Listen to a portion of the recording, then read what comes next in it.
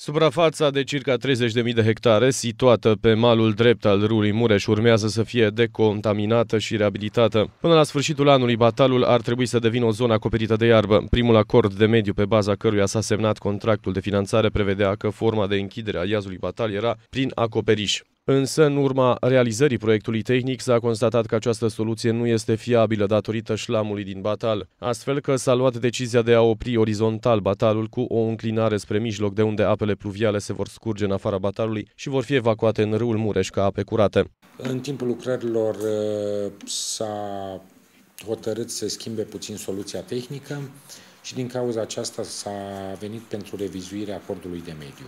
Acordul de mediu marți a fost în ședință de avizare, s-a luat decizia de revizuire a acordului de mediu, iar în câteva zile va fi eliberat acest acord de mediu revizuit, care schimbă într-o mică măsură soluția tehnică de acoperire și izolare a acestui iaz batal. Reabilitarea sitului poluat a început anul trecut cu o primă fază experimentală, în cadrul căreia executantul proiectului a încercat soluțiile tehnice de ecologizare pe un compartiment, un tronson experimental. Termenul de finalizare a proiectului, finanțat din Fondul European de Dezvoltare Regională, este sfârșitul acestui an. Beneficiarul proiectului, în valoare de peste 135 de milioane de lei, fiind primăria Târgu Mureș. După ce batalul va fi transformat într-o pajiște mare, autoritatea locală vrea să înființeze un parc fotovoltaic. Au anunțat la sfârșitul lunii aprilie responsabilii cu ecologizare ecologizarea batalului.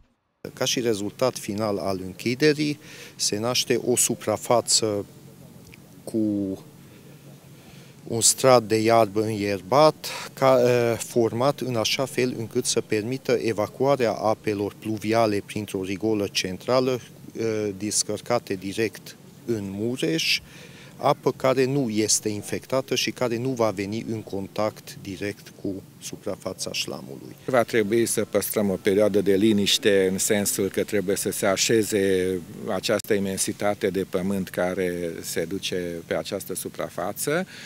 Sunt perioade de garanții pe care trebuie să așteptăm și între timp ne propunem un parc fotovoltaic care să producă energie regenerabilă pentru Târgu Mureșeni.